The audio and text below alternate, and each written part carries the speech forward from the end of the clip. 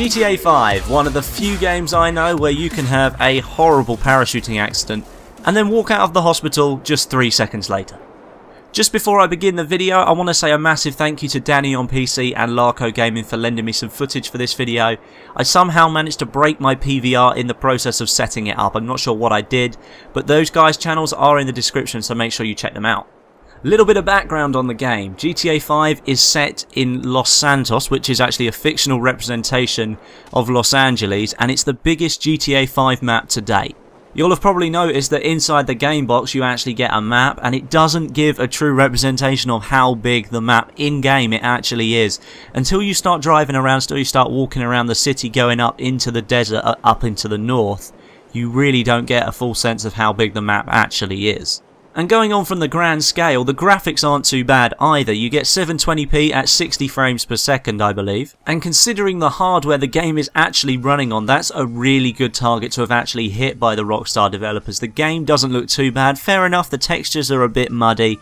And I think you can probably tell by this video that when you record the footage in 720p, it isn't amazing. But in-game, the raw footage of what you're actually seeing on the screen when you're playing, it's a really, really big achievement to be able to even get anything sort of graphically good out of these consoles that are nearly six and seven years old now. The content that's available to you in the world, especially in the city at least, is again a testament to Rockstar's developing ability because they've managed to squeeze so much out of this old hardware. There is so much more you can interact with in this world in Los Santos than what you could in Liberty City in GTA 4. Having said that, there are some limitations, of course, with these current generation consoles. I found that there's just not enough going on in the map sometimes to sort of keep me interested.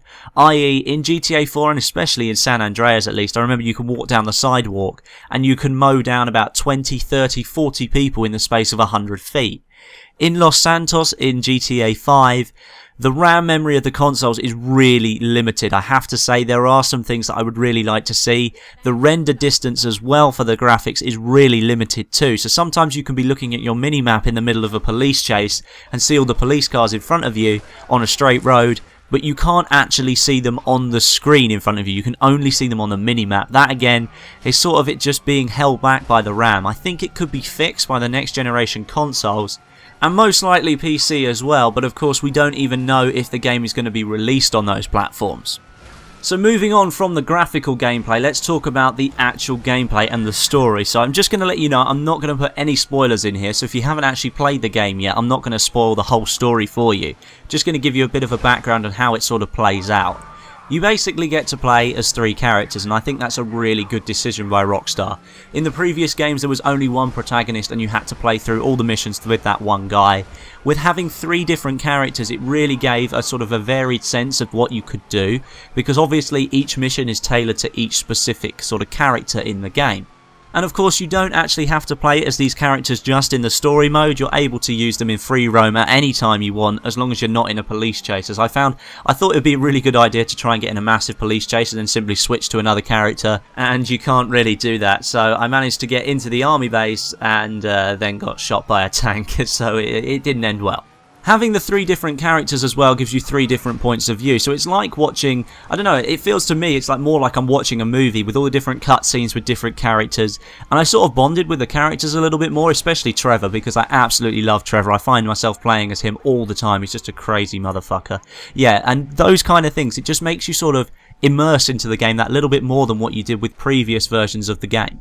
One thing I will say as well is that during the gameplay, if you are sort of on the tail of the cops, it's actually much harder to lose them this time around than it was in GTA 4. Still very easy for you to go down an alleyway and they'll lose you pretty much instantly. Or if uh, you're under some bridges or something like that, undercover, you can get out of sight of the helicopter and get yourself away from it all.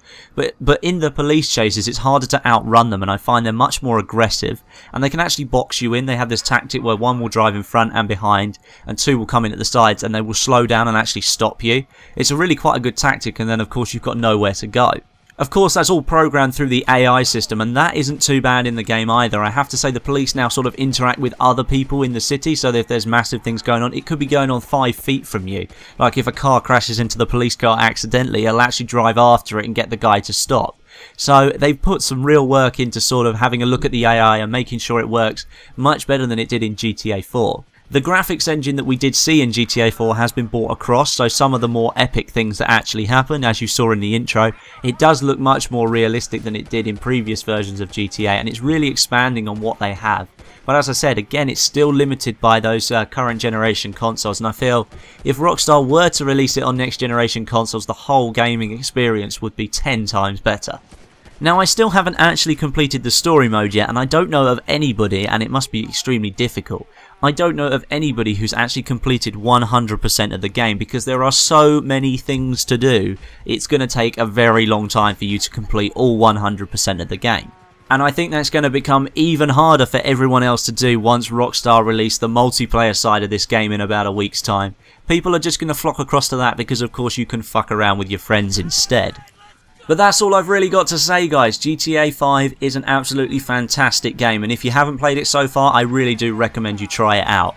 And that brings me to the end of the video so thanks for watching, likes and comments are always appreciated but until next time my name is Westie and I'll catch you guys in the next video.